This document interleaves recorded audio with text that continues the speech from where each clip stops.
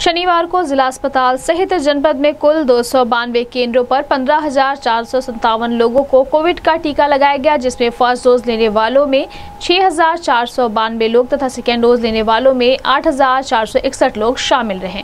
जिसके संबंध में सीएम डॉक्टर आशुतोष कुमार दुबे ने कहा कि चुनाव होने से पहले शत प्रतिशत वैक्सीनेशन करा ले ताकि इस महाअभियान में भाग ले सके और वैक्सीनेशन कराने के बाद शत प्रतिशत मतदान करने की सौगंध ले और खुद मतदान करे और अपने परिवार को भी मतदान करने में जागरूक करे। उन्होंने बताया कि विकलांगों के लिए सरकार ने अलग से व्यवस्था कर रखी है। रुक जाइए रुक जाइए ma'am five double three double three seven nine four five zero seven nine four अरे यार हाथ के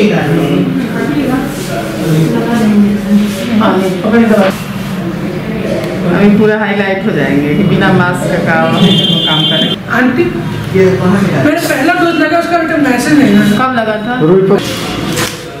देखिए टीका लगाने का यही तरीका मीडिया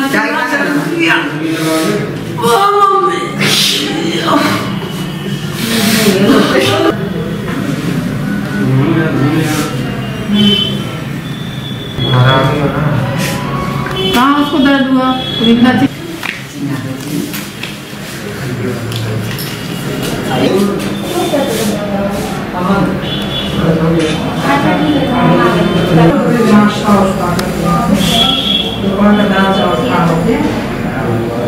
देखो चुपचाप आगे कुछ नहीं हाथों में कुछ नहीं